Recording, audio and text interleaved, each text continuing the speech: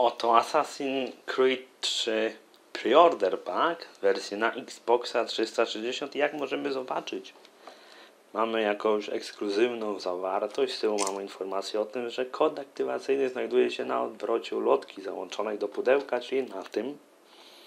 Niestety to jest tyle, co ja wiem o tym Preorder Packu. To wygląda jak pudełko, prawdopodobnie na grę. Wow. Ok, tutaj mamy kod na dodatek kolonialny, czyli mamy na pistolet i na tradycyjny ubiór. I to by było na tyle, jeśli chodzi o ten preorder pack. Mamy również postać.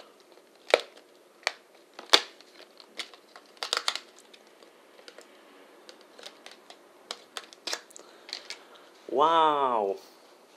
Mamy również postać e, Assassina.